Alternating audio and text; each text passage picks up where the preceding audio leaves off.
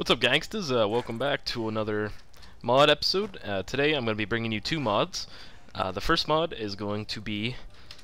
Sing! Look at that. Look at that soul. Hell yeah. Check it out. Now, if you guys, I mean, if this mod maker did his job correctly, you guys probably already know what this is. But if you don't, it's alright. I mean, it just, it's a cool looking sword if you don't. Um, but it is the Red Queen from Devil May Cry. And uh, it is honestly, I mean, I played a little bit of Devil May Cry, and I actually remember this. I mean, pretty good game. Uh, really nice sword in game. Uh, I like the how sharp it looks. You can just tell that like you if you get cut by that thing, you are you're going you're going bye bye.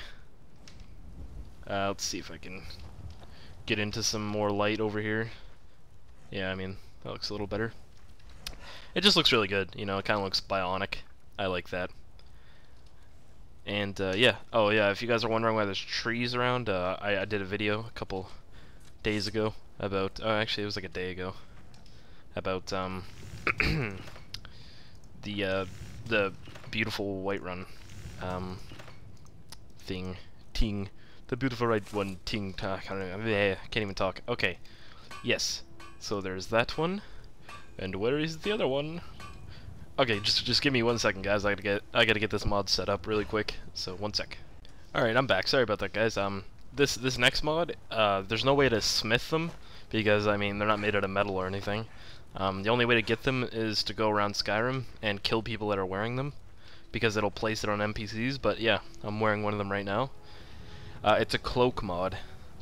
It adds like cloaks to the game, uh, capes, I guess. You could you could say. Um, yeah, I mean, with a set of armor, like here, I'll put, uh, let's see, what do, what do we want to put on?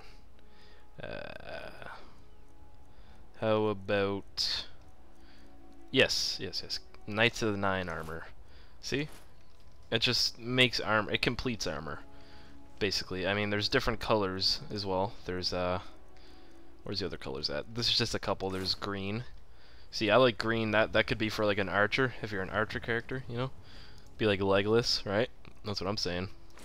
Go with white too, if you if you want to go for the knight look, like uh, with the Knights of the Nine armor. As you can uh, you can tell, looks really nice. You can also go with uh, black, if you just want to be kind of neutral. You know, just black looks good on anything, right? Let's get out in the sun here. So uh, yeah, those were the two mods. Uh, someone suggested that I do a few more mods and uh, videos other than one, and uh, yeah, I did here today. So, yep, if you guys have any mods that you want me to do reviews on, send me them in a message. Or uh, just tell me, and, uh, you know, I'll get your opinion, and I'll do a video on them. Because I spend, like, days looking for mods that I think you guys might like, and, you know, you guys like most of the mods I do, hopefully. Uh, where's Greymane? Where is he?